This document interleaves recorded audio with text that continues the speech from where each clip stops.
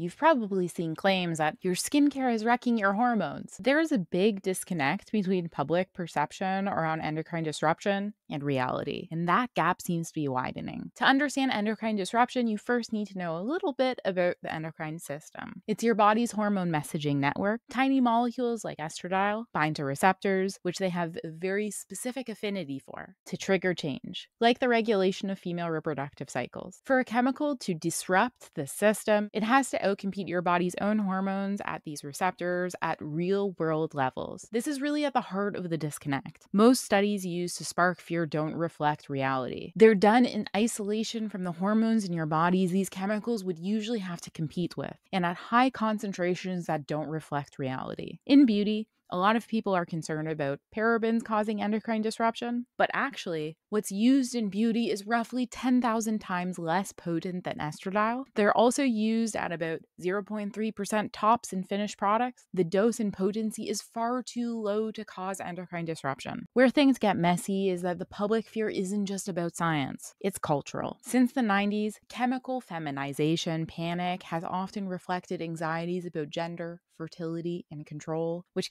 conveniently has translated to more research funding, which has driven a pretty disturbing science sensationalism trend in the arena of endocrine disruption. For my latest podcast episode, I was joined by endocrine disruption researcher Dr. Chris Borgert to help cut through the noise. If you want to learn more about this topic from a place of science rather than fear, tune in to my latest episode.